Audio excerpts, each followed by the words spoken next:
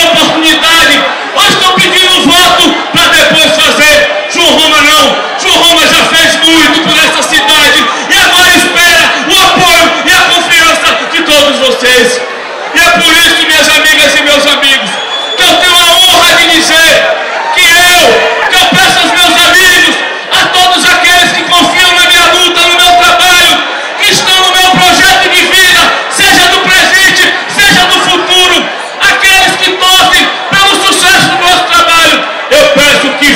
junto comigo no dia 7 de outubro, no 10